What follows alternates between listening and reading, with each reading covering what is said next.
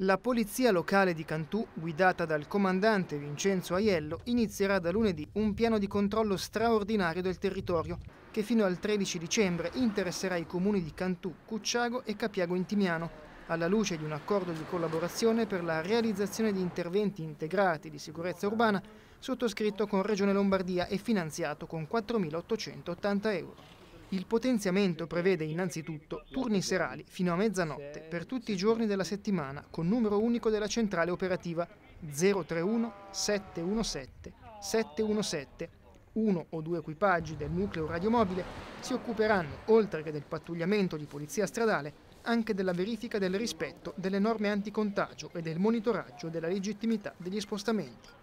Infine, durante il giorno è prevista la pianificazione di servizi mirati nelle aree a rischio assembramento e nelle attività commerciali aperte.